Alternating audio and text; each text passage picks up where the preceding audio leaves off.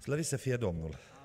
Haideți să ne ridicăm înaintea Domnului și vă invit cu respect, cu toată inima, să deschidem la judecători, la capitolul 6, de la versetul 11, vom citi până la versetul 16. Deci judecători 6 de la 11 la 16. Apoi a venit îngerul Domnului și s-a așezat sub stejarul din Ofra, care era al lui Ioas, din familia lui Abiezer.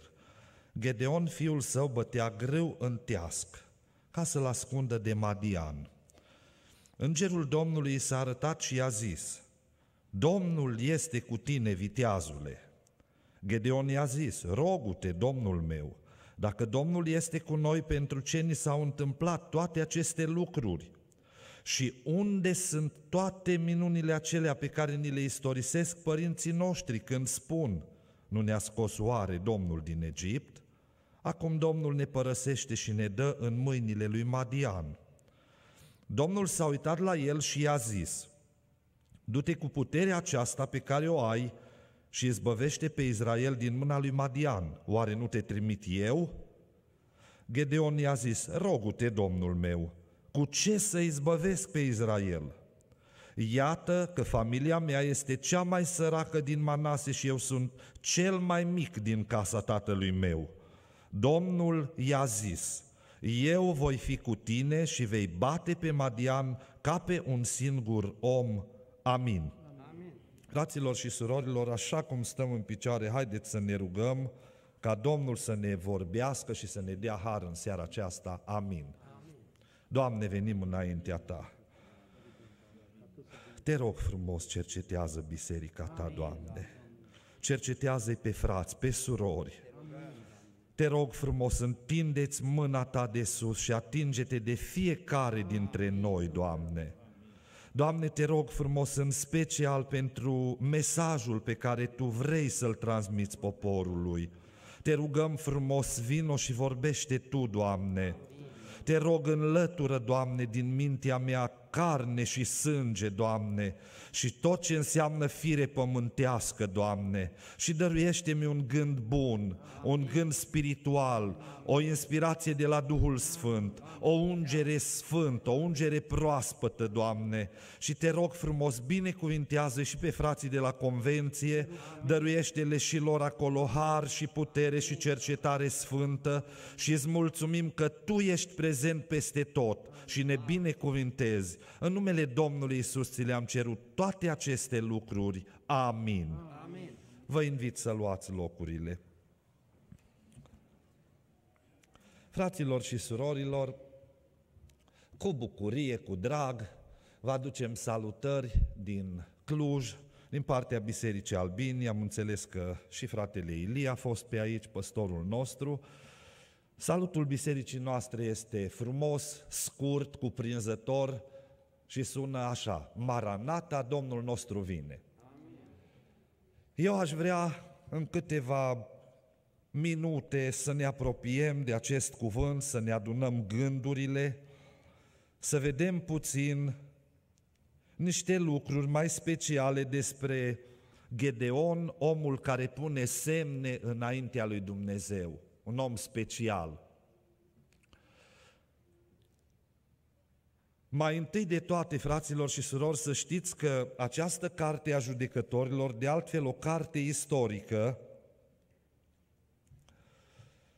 culisează în jurul unei teme care se reia cu fiecare dintre oamenii care au fost numiți judecători, această temă este reluată și mai mult sau mai puțin judecătorul respectiv a reușit să atingă această problemă destul de gravă care eu cred că este actuală și anume reforma, reforma. Fraților și surori, ca să înțelegem cuvântul reformă, trebuie să ne gândim mai întâi la formă, formă. Vedeți, Dumnezeu, la început, a trasat pentru om niște reguli, niște principii. Chiar și Adam și Eva în grădina Edenului aveau trasate niște principii, niște porunci, chiar dacă nu erau scrise, chiar dacă nu aveau atunci hârtie, nu aveau pergament, nu aveau papirus, dar totuși erau scrise în inimile lor. Și asta era, ca să spunem așa, o formă originală a lucrării lui Dumnezeu pentru om. Ori a venit șarpele și această formă instituită de Dumnezeu, și anume ascultarea de porunca lui Dumnezeu, în principal și în special, asta era forma instituită de Dumnezeu și până la urmă ascultarea de Dumnezeu guvernează toate lucrurile, lucrurile bune ne referim, a venit diavolul și din formă a reușit să facă ceva și să deformeze și să schimbe forma. Și atunci omul, din momentul acela din grădina Edenului, a știut ce înseamnă formalism. Adică să păstrezi intactă o formă, dar în substrat să o încalc, să o încalc și să o deformez. De fațadă să fiu pocăit, în substrat să fac ce-mi place. Cam așa spune și Cartea Judecătorilor. Era o vreme grea atunci, cum este și acum, pentru că fiecare făcea ce-i plăcea, frate și soră. Și era un bătrânel, un frate maghiar, și știți cum spunea el? Zice, când noi facem ce nu place Domnului, Domnul face ce nu place nouă. Nu se exprima bine. De adevărat. Dar era, era vremea judecătorilor și atunci fiecare făcea ce îi plăcea. Și imediat Dumnezeu a trebuit să ridice din mijlocul poporului oameni speciali, oameni mișcați de Duhul lui Dumnezeu, care să instituie reforma, adică o reparare a ceea ce omul a făcut cu ajutorul diavolului sau cu afirii pământești, a deformat forma originală a lui Dumnezeu. Și așa au apărut reformatorii în vremuri de criză, fraților și surori. Și de ce să nu recunoaștem că și astăzi este vreme de criză, când oamenii fac ce nu-i place lui Dumnezeu, și când în biserică de multe ori se pun întrebări de genul Mi-e permis să fac cu tare și cu tare. De ce nu întrebăm altfel? De ce nu mergem ca și tinerii de altă dată, de acum 50, 60, 70 de ani? Și să întrebăm ca și cei din faptele apostolilor, fraților, ce să facem, nu ce să nu facem. Vedeți? Se deformează încet, încet forma originală instituită de Dumnezeu. Și atunci Dumnezeu a fost forțat să instituie un tip de pocăință. Că vedeți, în Vechiul Testament sunt două tipuri de pocăință. Este pocăința ritualică și este pocăința profetică. În pocăința ritualică, oamenii știți ce făceau? Cum scrie în Ioel. Se închinau între templu și altar, între tindă și altar, își sfâșiau hainele, făceau penitențe, duceau jertfe la altare și încercau să se apropie în exterior de Dumnezeu. Și a fost nevoit Dumnezeu să traseze linia pocăinței profetice și să strige prin Ioel, sfâșiați-vă inimile și nu hainele. Faceți voia mea, zice Dumnezeu. Și să vină prin proroci ca Mica și să strige Dumnezeu, să-l inspire pe Mica și să se întrebe el, dar îl întreba Duhul lui Dumnezeu. Mai întâi l-a întrebat Duhul Sfânt și apoi a întrebat pe alții și a rămas scris în Scriptură. Cum mă voi apropia de cel prea sfânt, de cel prea înalt, de Dumnezeul din cer care este sfânt? Cum pot să mă apropii, zice Mica? Să dau eu pentru păcatele mele rodul trupului meu, primul născut din trupul meu? Dar primește Domnul oare râuri de unde lemn, râuri de sânge, viței și berbeci pe altare? Și apoi răspunde Dumnezeu, îi răspunde prorocului, dar prin el ne vorbește nouă, i-a vorbit lui, le-a vorbit celor din jurul lui, el știa răspunsul, dar era acolo un joc de întrebări ca oamenii să-și dea seama că există pocăință ritualică în care curg grâuri de unde lemn, curge sânge spre Dumnezeu, dar pocăința e zero în inima omului. Și atunci a venit Dumnezeu și a trasat pocăința profetică, fraților și surori care se prelungește în Noul Testament. Și zice acolo Dumnezeu, ți s-a arătat omule ce este bine și ce alta cere Domnul de la tine decât să faci dreptate, să iubești mila și să umbli zmerit cu Dumnezeul tău. Și vine Domnul Hristos și în Matei, în capitolul 23, aceleași trei lucruri, principii ale pocăinței profetice le reia. Și zice în Matei 23 cu 23, zice, priviți, pocăința voastră, fariseilor, e o pocăință ritualică. Vechiul Testament s-a prelungit în noul, nu e nicio diferență. Vai de voi, zice, că voi dați zeciuială au ajuns să dea zeciuială până și din izmă, din mărar și din chimen, din semințele care le obțineau din grădina lor. Probabil că le cântăreau, că nu puteau să le numere. Le cântăreau și ziceau 10% Domnul, 10% Domnul.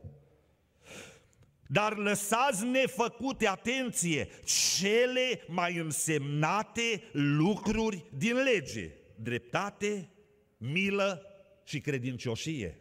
Ți s-a arătat, omule, ce este bine. Să iubești dreptatea, să iubești mila și să umbli smerit cu Dumnezeu, adică să fii credincios lui Dumnezeu, umblarea cu Dumnezeu în smerenie.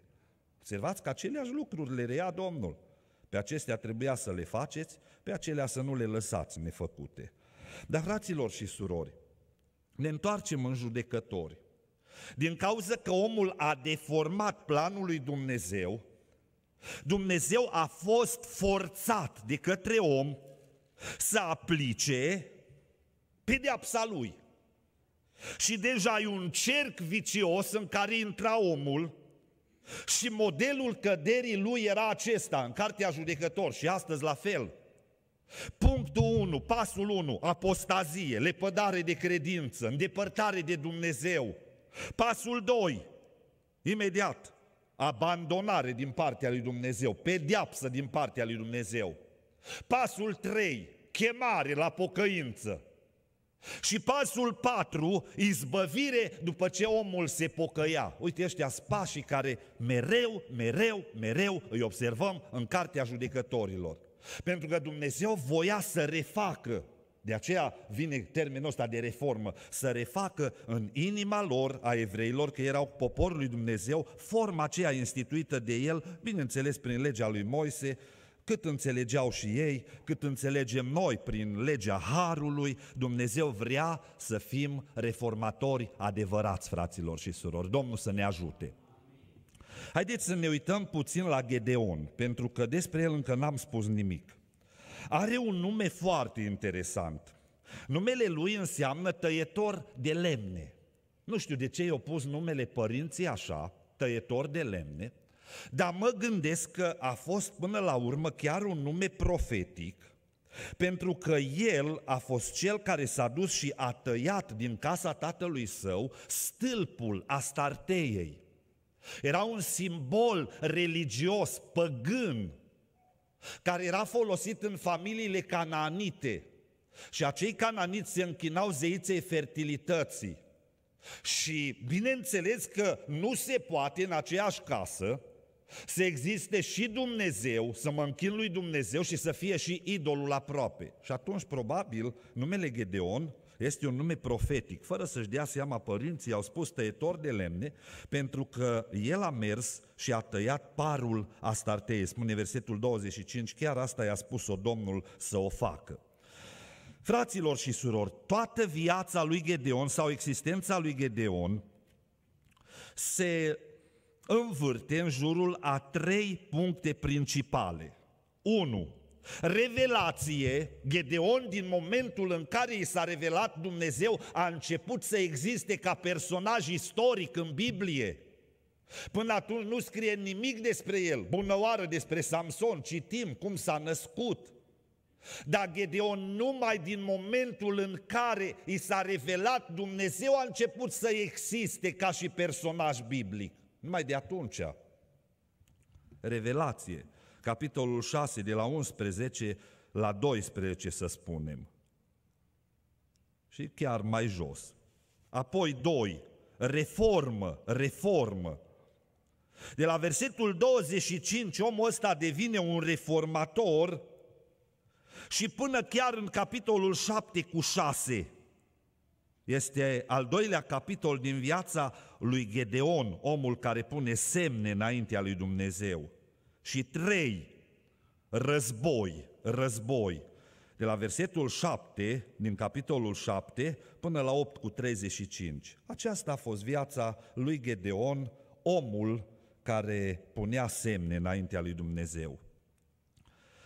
Îl vedem aici pe Gedeon, fraților și surori, la capitolul Revelație, spuneam de la versetul 11 în jos, până pe la 24, îl vedem un om al întrebărilor și Dumnezeu îi se revelează ca un Dumnezeu al tuturor răspunsurilor. Omul acesta Spune Biblia și vedeți versetul 11, spune apoi a venit îngerul Domnului și s-a așezat sub stejarul din Ofra care era lui Ioas din familia lui Abiezer. Gedeon, fiul său, bătea greu în teasc ca să-l ascundă. Îngerul Domnului s-a arătat. Avem aici o problemă. Îngerul acesta, cine era, ce identitate avea acest înger al Domnului? Eu înclin să cred, fraților și surori, cu argumente biblice, că acest înger al lui Dumnezeu era însuși Hristos. Era o teofanie, o apariție a lui Hristos, o cristofanie să o numim așa, măcar că cei din vechiul nu-l cunoșteau după numele de Isus. Dar știau după numele de unsul, pentru că era vestit de proroci, ca unsul lui Dumnezeu. Ce argumente găsim aici în textul nostru Vedeți, în versetul 11 spune îngerul Domnului. Dar versetul 14, atenție, Domnul s-a uitat la el. Deci observați că Biblia numește pe acel înger Domnul. Așa numește Biblia. E primul argument. Al doilea argument. El acceptă închinarea. Spune de la versetul 17 în jos, dacă am căpătat trecere înaintea ta, dă-mi un semn ca să-mi arăți că tu îmi vorbești, nu te îndepărta de aici, că vreau să-mi aduc darul. Și Gedeon aduce un dar. Și aducându-și darul, o jertfă, el îi se închină celui care era în fața lui. Ori amintiți-vă că în cartea Apocalipsei încearcă Ioan să se închine în fața unui înger și spune, scoală-te, n-ai dreptul ăsta, eu sunt un slujitor ca și tine al Dumnezeu. Toată închinarea dăruiește eu numai lui Dumnezeu, că numai El merită închinare. Deci observați încă un argument în favoarea acestui gând că era într-adevăr Isus acolo. Apoi mai este un argument extras din manuscrisele Vechiului Testament, fraților și surori. De multe ori când apare această sintagmă, îngerul Domnului în Vechiul Testament, apare în forma următoare în originale, îngerul Jehova. Deci observați, era îngerul care purta numele lui Dumnezeu. Că îi zici îngerul Gavril, știi că e îngerul ăla, ăla e un înger. Dar când îi zici îngerul Dumnezeu, aici l-au tradus îngerul Domnului. Dar când îi spui așa, deja uite, este exact Domnul Hristos. Și de ce coboară Domnul Hristos înaintea acestui om? Vedeți, versetul 12 ne spune un lucru minunat, extraordinar. Gândiți-vă la contextul ăsta istoric. Spune versetul 1 din capitolul 6, Israeliții au făcut ce nu plăcea Domnului, Domnul i-a dat în mâinile lui Madian timp de șapte ani, mâna lui Madian era puternică, evreii fugeau în peșteri pe stânci întărite. După ce se mâna Israel și vedeți, madianiții erau foarte dibaci, foarte vicleni. mergeau și adunau tot ce, când era recolta, când erau zilele recolte, ei adunau tot. Și nu le stricau casele evreilor, le lăsau.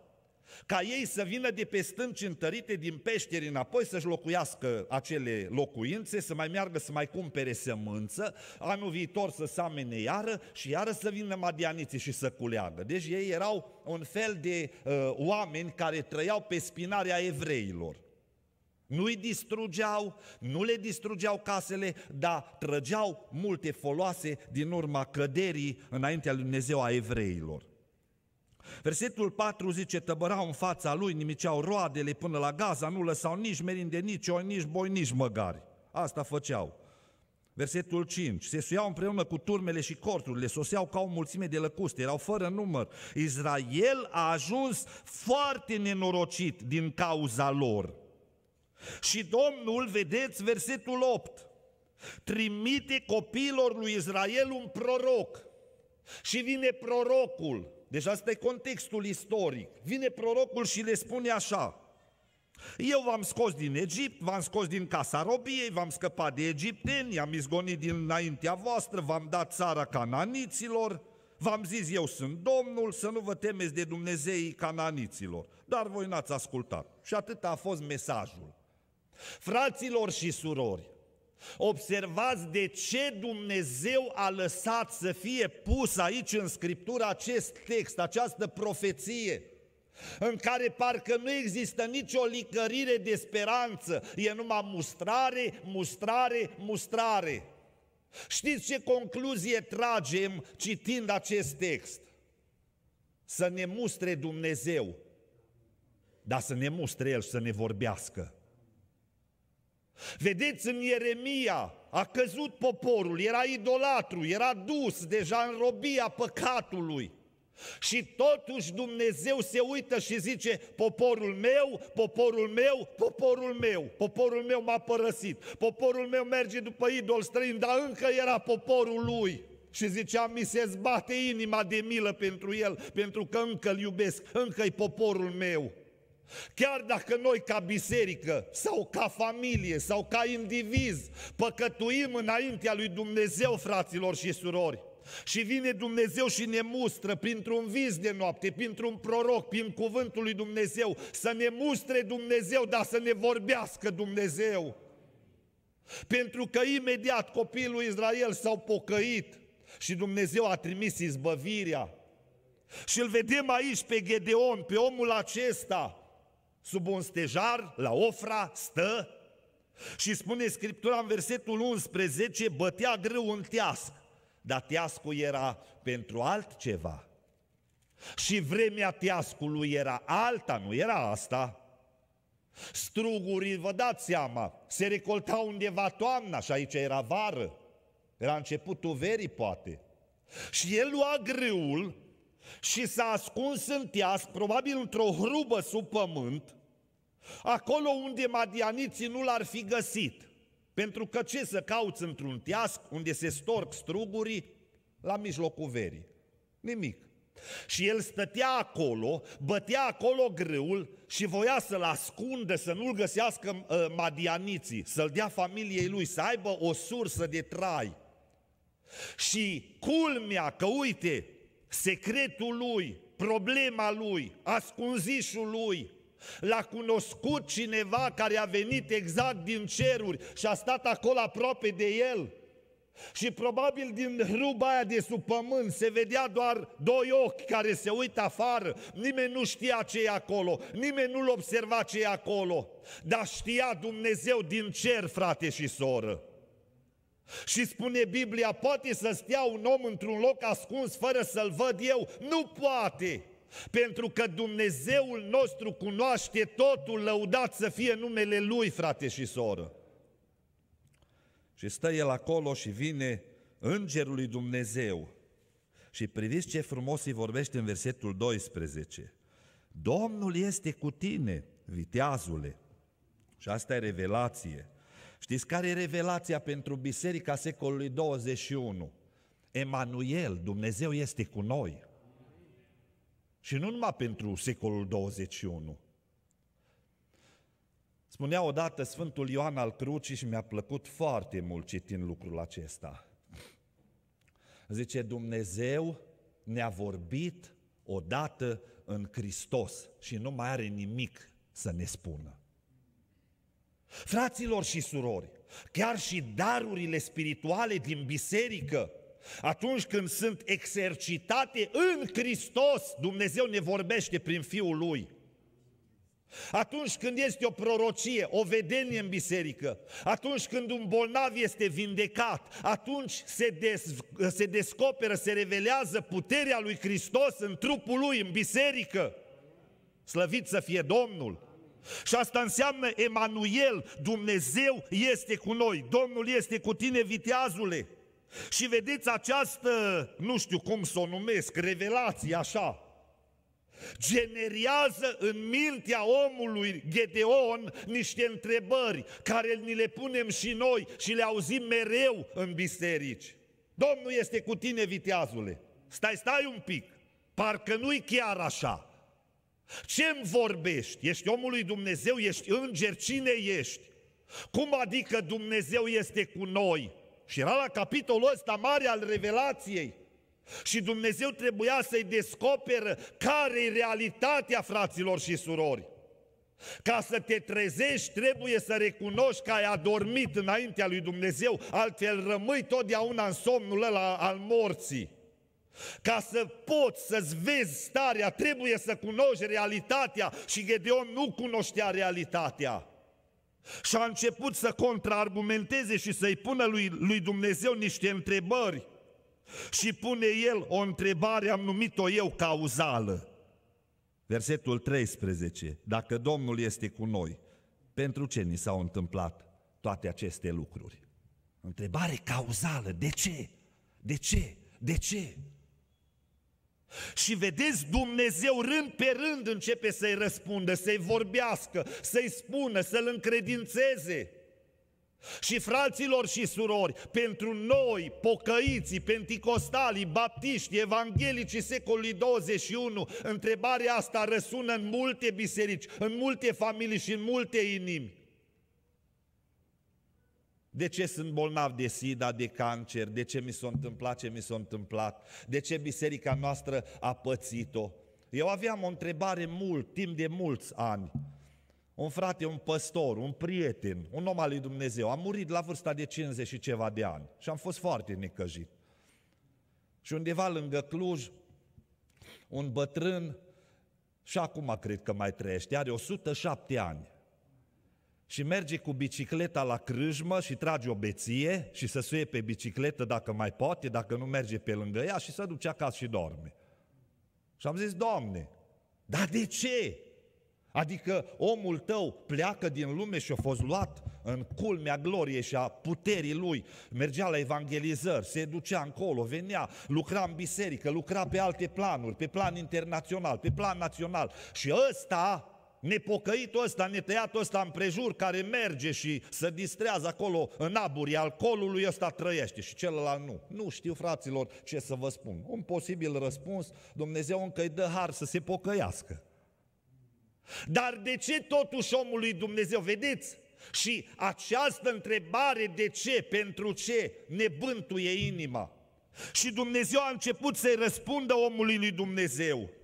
Și un prim răspuns era la această întrebare cauzală, la întrebarea de ce, și era la capitolul Revelației, Gedeonul, omul care urma să pună semne. Păcatul neascultării. Versetul 1 din 6. Copiii lui Israel au făcut ce nu plăcea Domnului. Versetul 10. Voi n-ați ascultat glasul meu. 2. Păcatul idolatriei. Au început să se închine la idol, spune versetul 25 la 32 din capitolul 6, ciudat. Se închinau la Bal, se închinau la Astartei, aveau alții și alții și alții idoli. Și Domnul zice, vezi de ce? Domnul este cu voi, Domnul este cu tine. Observați și la Gedeon, un ascultător foarte fin a ceea ce Domnul îi spune. Domnul zice, Domnul este cu tine acum. Dar el zice, dacă Domnul e cu noi. A încercat și ăsta e omul lui Dumnezeu, fraților și surori. Omul lui Dumnezeu nu este individualist, frate și soră. Omul lui Dumnezeu se pune în spărtură înaintea poporului și strigă către Dumnezeu. Și zice, Doamne, noi am păcătuit. Noi suntem vrednici de loviturile tale, nouă să ni se umple fața de rușine. Dar ce, Daniele, tu ești păcătos? Tu ești om prea iubit și scump? Nu! Noi avem o identitate și identitatea asta este un popor întreg și noi stăm înaintea lui Dumnezeu ca un popor păcătos. Frate și soră, oricât te vei ruga în biserică de frumos, Oricât vei predica de frumos, oricât vei recita sau vei cânta, tu nu ești singur, ai o biserică în spatele tău, ai o comunitate și tu îi reprezinți înaintea lui Dumnezeu. Doamne, cercetează-ne! Imediat el se pune în fruntea unui popor și dă curs la o mulțime de întrebări din inimă. Pentru ce? Și Domnul zice, pentru ce? Neascultare, idolatrie, mândrie națională, pentru că imediat știți întâmplarea și eu doar punctez așa. S-au derulat lucrurile, omul ăsta pune semne și zice Dumnezeu, acum pornește la luptă. Și zice, da, Doamne, pornesc la luptă. Zice Domnul, știi care e problema? Poporul care e cu tine este cam mult. 22 de mii de oameni versetul 3 din capitolul 7, se duc acasă, știi, erau fricoși sau aveau probleme de rezolvat, dar rămân 10.000. În total au fost 32.000. Ei, cu 32.000, dacă ei se duceau să se bată cu madianiții, ne spune uh, capitolul ăsta 7, cât erau madianiți, erau foarte mulți, 135.000 de dușmani, 8, capitolul 8 cu 10. Atâta erau, 135.000 de dușmani împărțit la 32.000 de oameni era un raport de 1 la 4, adică un evreu trebuia să bată patru madianiți. Și a zis Domnul, lăudă roșie, mândrie, înălțare, nu-i bine. Trimite pe fricoș acasă și pleacă acasă. Acum gândiți-vă, 10.000 de evrei să bată 135.000 de dușmani. Raportul era de 1 la 13, 14. Și a zis Domnul, și așa, să ducă ea și să laudă, domnule, că ce-o făcut ei și cât s-o bătut și așa. Nu-i bine, mândrie. Și trebuie Gedeon să ajungă până la, nu știu cum să-l numesc, imposibilul lui Dumnezeu, numărul imposibil al lui Dumnezeu. Adică un evreu să bată 450 de madianiți. Acesta era raportul. Acolo trebuia să se ajungă. Era imposibil, domnule, să faci așa ceva.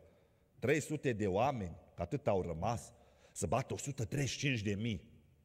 Ca să se vadă puterea, mărimea, ceea ce face Dumnezeu fără să miște vreun evreu ceva, că Dumnezeu e tot puternic și El poate totul, fraților. Slăvit să fie Domnul! Dar vedeți, Domnule îi vorbește lui Gedeon la întrebarea pentru ce, uite, și un păcat al mândriei naționale. Voi vă puteți lăuda cu ce ați făcut, dar eu nu vreau să vă lăudați, toată lauda să fie a lui Dumnezeu. Amin? Domnul să ne ajute la aceasta. Eram odată într-o misiune undeva plecat, tot așa pe termen mai lung, am ajuns într-o biserică, ne-am văzut pentru prima oară ca și aici la dumneavoastră la biserică, am stat puțin în sală, n-a, n-a fost o problemă asta, m-au chemat frații, am vorbit, am dat un îndemn și au zis, frate, mai stai în orașul nostru? Da, mai stau. Ei, când mai pot să vii? Păi uite, peste câteva zile liber. Și am mers iarăși. Imediat frații cunoscându-mă m-au chemat în față, hai frate, și m-am dus la Amvon și am stat lângă ei. Când să mă ridic să predic, era o rugăciune înainte de predică și am auzit o voce care mi-a spus, nu te pune în locul meu că te lovesc, mi-a zis Domnul. Și m-am ridicat tremurând și am zis, fraților, eu nu pot să țin locul lui Dumnezeu aici. Voi acum vă uitați la om, că omul vă poate spune una și alta, dar nu vă mai uitați la mine că mie mi frică. Haideți să ne uităm la Dumnezeu să ne vorbească Domnul. Fraților și surori, haideți să punem gândul acesta la inimă, Domnul să ne ajute. Gedeon l-a întrebat pe Dumnezeu pentru ce, apoi l-a întrebat o întrebare locativă, unde sunt minunile acelea de altă dată? Și o întrebare care răscolește multe inimi astăzi, fraților și surorilor. Și sunt minuni pe care ni le povestesc bătrânii. Gândiți-vă la lucrul acesta, mulți la știu pe fratele Simeonuc, bătrânul din Alba care mergea prin țară și Duhul Sfânt îl inspira și spunea ce să predice, bazat pe Scriptură. Soția lui, sora Lidia, care încă mai trăiește, ne povestea că mama ei făcea parte dintr-o altă confesiune decât cea penticostală și la un moment dat, într-o zi, în încăperea în care ea se afla, a apărut un cap de mână, ca și în cartea Daniel, și a început această mână să scrie pe zid. Dacă până de seară termini țesătura pe care ai început-o, la Penticostal e calea cea adevărată. Vă dați seama? Femeia asta avea o țesătură de făcut pe războiul de țesut și asta ar fi durat, spunea sora Lidia, cinci zile, poate șapte zile în mod normal. Și până seara, zicea ea, mama a reușit să o termine. Zburau mâinile acolo pe suveică și... S-a dus la Penticostali, Domnul a botezat-o cu Duhul Sfânt, și zice, Domnul îi arăta mamei mele îngeri. Și îmi povestea sora asta și cred, fraților și surori, pentru că atunci când Dumnezeu îți dă o credință de copil, crezi că s-au întâmplat lucrurile astea. Zice, mergeam la plivit, pe câmp, toată familia, și eram cu plivitorile alea, cu niște bețe și cuțit la vârf și înțepam la rădăcină buriana, tot ce însemna buriană. La un moment dat mama începe să se roage și lucra și se ruga și ne-a făcut semn să tăcem. Și zice, am văzut pe o fâșie lângă noi cum săreau rădăcinile, cu, uh, rădăcinile la burieni în sus, așa, fără mână de om. Și am început să ne uimim și să tremurăm și știam că e o intervenție divină. Și zice la final, am terminat foarte repede ce aveam de făcut, zice, o văd pe mama că dă mâna așa, așa și ne-a spus, întorcându-se spre noi, au fost doi îngeri al lui Dumnezeu și ne-au ajutat la lucru. unde sunt minunile de altă dată? Mi-a povestit un frate din Australia, că am auzit aici experiența fratelui cu granița. Un frate de acolo mi-a povestit cum a plecat el peste graniță. Minunea lui Dumnezeu, a avut un vis într-o noapte, el nu s-a gândit niciodată să plece din țară. Și în urma unui vis în care a văzut un cerc de grăniceri care erau întorși cu fața în cerc, acolo în centrul cercului. Și el intră pe sub mâinile lor, că toți se țineau de mâini. Și când ajunge în centru, în mijlocul lor, în visul lui, speriat, vai de mine, ăștia mă văd toți. Și când se uită la fețele lor, erau imediat întors cu spatele. Cerc, dar întors cu spatele. Și imediat zice, ies pe sub mâinile lor și iară sunt întorși cu fața și nu m-au văzut. Și am știut că Dumnezeu mă cheamă la o lucrare și păstor în Australia. L-a chemat Domnul acolo la lucrare. Și zice, am plecat și am călătorit noaptea și când au venit zorii zilei m-am trezit sub foișorul lor, a grănicerilor. Și erau sus deasupra mea și eu eram cu încă un frate într-un lan de porumb. Și porumbul zice nu era crescut foarte mare. Și ce să mă fac? Am început să mă rog, am luat banii și mi-am îngropat în pământ, aveam o brișcă, un briceag, l-am îngropat acolo să nu am probleme. Am tremurat o zi întreagă și ea nu m-au văzut nici pe mine, nici pe colegul meu. Și am stat acolo, se uitau peste câmpuri, se uitau, nimeni nimic, nimeni nimic. Și ăștia stăteau lângă el. Și seara au coborât din foișor, s-au dus în patrulare, noi am plecat, ne-am luat banii, hai să mergem. Nu știam cum să trecem, era un, un zid, spunea el, din gard viu și nu știam cum să trecem prin el dincolo. Și la un moment dat am ciulit urechile și am auzit patrula cum vine și am stat ascunși. Și a venit patrula în, în fața noastră și unul dintre grăniceri a trecut peste, uh, era o, o, o intrare, un intrând, o ușiță, ceva, era o deschizătură acolo, în gardul ăla viu. Și a trecut până dincolo, s-a uitat, a venit înapoi și s-au dus mai departe. Și am zis, aici e salvarea noastră. Și au plecat și au ajuns unde au trebuit. A fost minunea lui Dumnezeu. Și îmi povestea tot el, și nu cred că bazme fraților și surori, un proroc din Suceava a avut din partea lui Dumnezeu o încredințare și a zis, eu mă duc peste graniță și mă duc pe unde mi-arată Domnul și vedea o lumină cum merge în fața lui. Și s-a dus după lumină și în spatele lui zece încolonați și au scăpat peste graniță. Și au trecut și ei pe sub foișorul grănicerilor și nu i-a văzut nimeni pentru că Domnul i-a orbit ochii, fraților și surori. Unde sunt minunile de altă dată? Plus minuni cu oameni care s-au vindecat.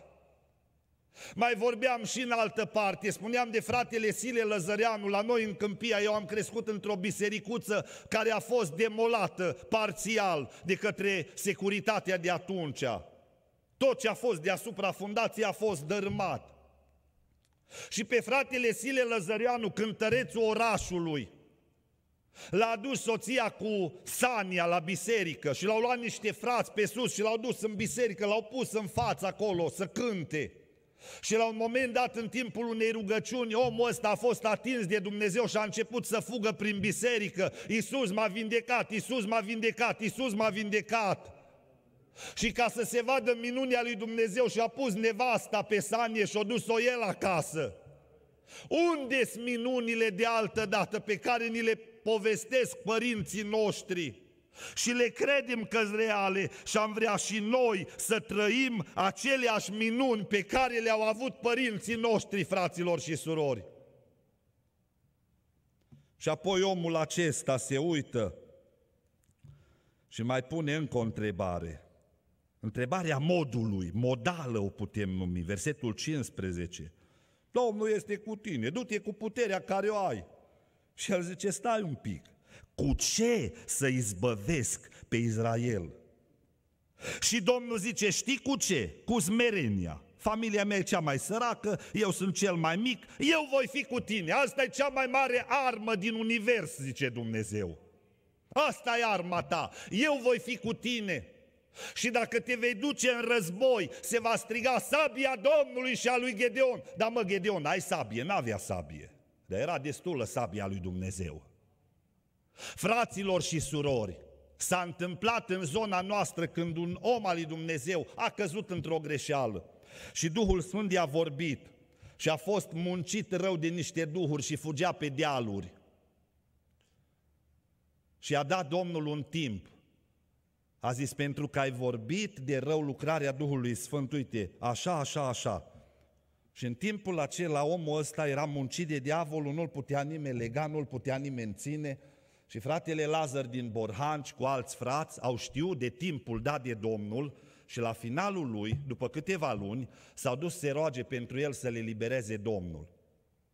Când au ajuns păstorii înaintea lui, omul ăsta se uita la ei și spunea, tu ai venit să te rogi pentru mine. Tu te-ai certat cu nevasta azi dimineață, du-te de aici. Se uita la altul, tu ai venit să te rogi, tu ai furat de la fabrică, du-te de aici. Și urma să vină fratele Lazar din Borhanci cu autobuzul. Și demonul a simțit și a zis, fug că vine Lazar. Și l-au ținut acolo, stai mai aici. Și când apare fratele Lazar din Borhan, imediat ceilalți, frate Lazare, uite așa, uite așa. Măi, oameni, măi, dar voi nu v-ați dat seama că diavolul a vrut să mă facă să mă mândresc și să nu-și mai facă Dumnezeu lucrarea. Pas greșit, Mergi, măi, și ceri iertare de la nevastă, rogă-te lui Dumnezeu, tu ai furat, fă o promisiune că duci înapoi lucru care l-ai furat. Hai să facem unitate că Domnul vrea să le libereze pe omul ăsta. Și imediat i-a adunat omul lui Dumnezeu în jurul lui și Domnul l-a eliberat pe omul acela. Unde sunt minunile de altă dată? Și cu ce? Păi cu ce? Când Domnul este cu tine, rezolv toate problemele. Doamne, ajută-ne! Apoi ce să mai vorbim? Că după ce îi se revelează Domnul și îi răspunde la problemele inimii lui, imediat începe al doilea capitol din viața lui și anume reformă. Și fraților și surori, reforma în viața lui Gedeon începe de acasă. Amin? Reforma, în primul rând, începe de la noi de acasă. S-a dus cineva odată la o misiune creștină și spunea că vrea să meargă și el să fie misionar în Africa. L-au întrebat mai mari de acolo, directorul și ceilalți, bordul de conducere al misiunii. Măi omule, câți copii ai? Păi zice, am și eu șapte copii. Câți dintre ei sunt pocăiți întorși la Domnul? Niciunul. Du-te în jungla de la tine de acasă. Era bine eu zis, bine eu zis. Pentru că reforma adevărată începe de acasă, de la tine de acasă. După ce Domnul îți schimbă ție interiorul, inima ta, după aceea te duci acasă și faci curățenie. Versetul 25, în aceeași noapte, Vine Domnul și îi vorbește lui Gedeon și zice, Gedeoane, ia vițelul tatălui tău, altaur de șapte ani, dărâm altarul lui Bal, taie parul la startei, adu o jertfă Domnului, adu închinare lui Dumnezeu, construiește altarul la tine în familie și îndepărtează altarele străine. Asta înseamnă reformă la tine acasă. Să pui la loc de cinste Biblia și să citești în ea, Doamne ajută-ne, este un frate lângă Câmpia Turzii, fratele Tiut, Omul acesta, în urmă cu câțiva ani buni de zile, poate șapte, opt ani să fie, uh, a primit o lovitură îngăduită de Domnul, i-a paralizat o plioapă, cealaltă semi-paralizie, vede cu o jumătate de ochi doar, pe celălalt ochi pleoapa e căzută total. Și într-o zi mi-a zis, problema care o avea. Imediat după ce am primit lovitura asta, zice, m-am gândit ce să mă fac, că dacă nu mai pot citi în Biblie, e mare problemă. Și eu toată viața, frate, am fost obișnuit să citesc în Biblie. Ce mă fac? Ce mă fac? Și zice, imediat am luat Biblia să o înmagazinez în mintea mea pentru vremea, dacă o îngăduie Domnul, în care să nu mai văd deloc. Și fratele ăsta în circa șase ani a citit Biblia de aproape 20 de ori. Și fraților și surori, nu-i de mirare că un om care e plin de scriptură poate să dea și la alții, poate să se roage pentru demonizați, poate să se roage pentru problemele altora, pentru că în inima lui este un izvor de ape vii care curg după cum zice Scriptura. Reforma începe de la noi de acasă, de la noi din inimă. Și apoi reforma începe în popor. Iarăși aici e o taină de la versetul 1 din capitolul 7 în jos, de ce i-a dus omul ăsta, Gedeon, pe cei din poporul Israel la apă? De ce ăia numai care au luat apa așa, în pumni, în căușul palmelor, numai ei au fost aleși de Dumnezeu? De ce nu ceilalți care s-au repezit acolo cu fața la pământ și au băut apă? Fraților și surori, vă dați seama ce sensibilitate are Dumnezeu? Și cum îi alege pe oameni? Păi dacă ăștia erau atenți la ceea ce consumau, mai ales că era pocăința aceea ritualică de care vorbeam adineauri, ei nu voiau să se contamineze cu ceva pentru că ei aveau o legătură mai specială cu Dumnezeu decât ceilalți. Și dacă pe apă vine o broscuță, nu? Un mormoloc, îl iei și îl bei, nu? Că nu te mai uiți. Dă înainte, frate, cu fața la pământ. Orice curge, tot bem. Și așa se întâmplă în multe biserici fără nicio barieră, fără nimic, primim apele Eufratului să treacă prin mijlocul bisericii dacă e cazul. Nu așa, fraților și surori. Dumnezeu ne-a dat un selector, iesita Evangheliei. Ce trece prin Scriptură, primim. Ce nu, să meargă în lume, că noi nu primim așa ceva. Amin? Oamenii ăștia erau oameni care selectau, se uitau în apă să nu fie vreo impuritate, erau numai 300, cei care erau atenți. Și atunci cu aceștia Dumnezeu face minune. Dar uite că Dumnezeu a făcut reformă prin Gedeon și în popor, mai întâi acasă, apoi în popor și apoi pornește războiul cel mare. Mai întâi război contra idolilor, deja l-am amintit. Apoi război cu madianiții, și ăsta de la versetul 34 în jos din 6. Iar e minunat versetul 34. 6 cu 34, Gedeon a fost îmbrăcat cu Duhul Domnului. Am citit într-o altă traducere și m-am uimit. Duhul Sfânt s-a îmbrăcat cu Gedeon. Auzi ce frumos sună. Exact cum spunea Iov altă dată. Mă îmbrăcam cu dreptatea și slujeam de îmbrăcăminte. Afară dreptate, înăuntru dreptate, așa și la Gedeon. În afară Duhul Sfânt, înăuntru Duhul Sfânt, nimic nu sunt, un bob de tină, dar ceea ce e valoros e Duhul lui Dumnezeu, focul lui Dumnezeu, puterea lui Dumnezeu. Asta e valoroasă în biserica lui Dumnezeu, frate și soră. Și așa se pornește adevăratul război. Și omul ăsta pune semnele. Și deja, uite, cele două semne din 6 cu 36 în jos, putem să le privim ca pe niște semne profetice împlinite în istoria poporului Israel, fraților și surori. Observați primul semn voi pune un val de lână în arie, dacă numai lâna va fi acoperită de rouă și tot pământul va rămâne uscat. Voi cunoaște că vei izbăvi pe Israel. Semnul 2. Dacă numai lâna rămâne uscată și tot pământul se acoperă de rouă, știu că tu mă trimiți, ești cu noi. Și priviți uh, în istorie semnele astea, deja semne istorice, semne profetice. Lâna să-l simbolizeze pe poporul Israel – care a fost plin de roa promisiunilor și a puterii lui Dumnezeu, a Duhului lui Dumnezeu în vechiul legământ. Și tot pământul era uscat, era necunoștință de Dumnezeu. Și noi trăim acum în perioada Harului, în perioada în care poporul Israel e ca lâna uscată, nu-L mai cunoaște pe Dumnezeu. Dar pământul se acoperă încet, încet de cunoștința lui Dumnezeu ca uh, fundul mării de apele care îl acopăr, cum spunem proroci. Și roa lui Dumnezeu cade peste neamuri și se pocăiesc în China, în India, în țări în care n-a pătruns niciodată Evanghelia lui Dumnezeu. Uite semnele lui Gedeon. Gedeon, omul care pune semne înaintea lui Dumnezeu.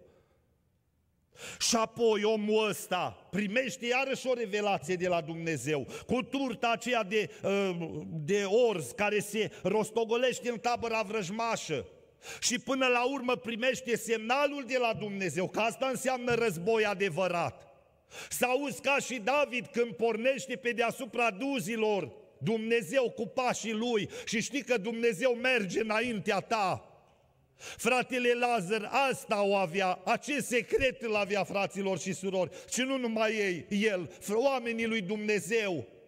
Când știa că merge Dumnezeu înainte și a spus odată unui frate, dacă îl văd pe Dumnezeu că îi face ungerea la cutare, mă duc și eu și fac și știu sigur că se vindecă. Îl vedea pe Dumnezeu mergând înainte. Asta înseamnă să fii călăuzit de Dumnezeu, să-L vezi pe Dumnezeu care merge înaintea ta.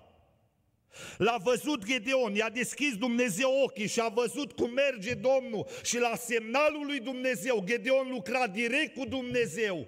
Și când Domnul i-a zis, acum, acum ai momentul, în trei părți deasupra văi în care dorm oamenii ăștia, spargeți toate ulcioarele alea, 300 la număr.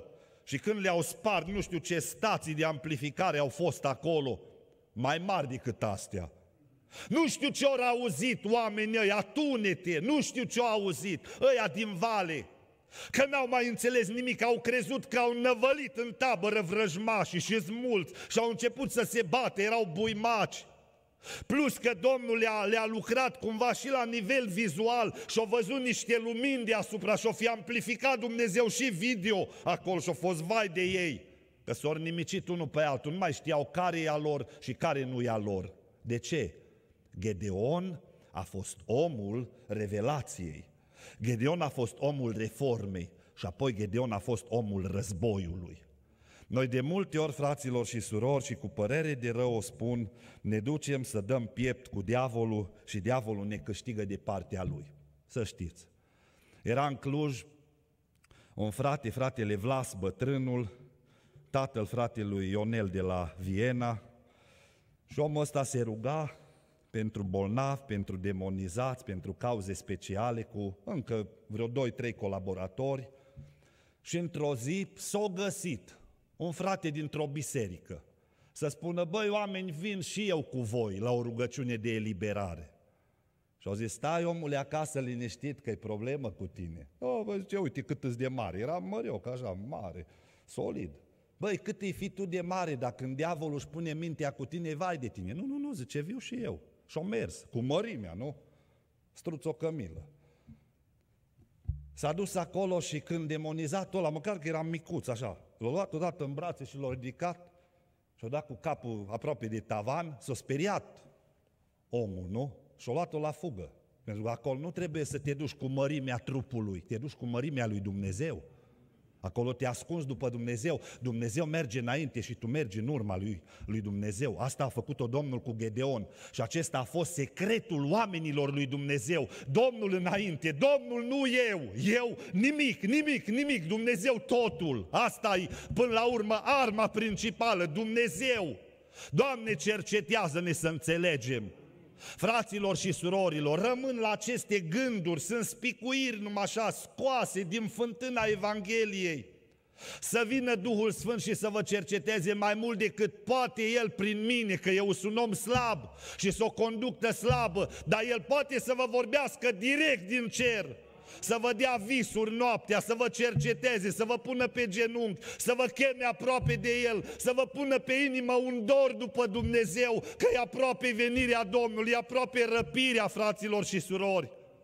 La noi în Cluj o soră a avut o descoperire și spunea în felul următor, zice, am văzut cerul deschis și pe el scria cu litere de aur, venirea Domnului.